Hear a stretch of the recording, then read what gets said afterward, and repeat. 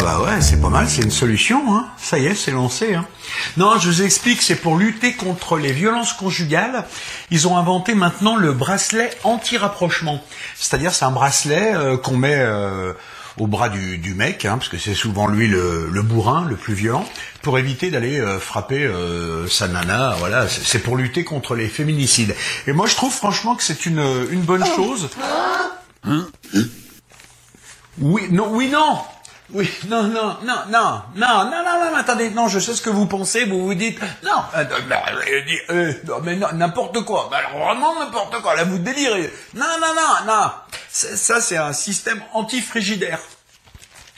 C'est ma femme qui me l'a fait installer. Chaque fois que je m'avance trop près du frigidaire,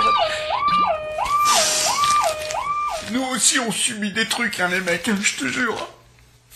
Salope.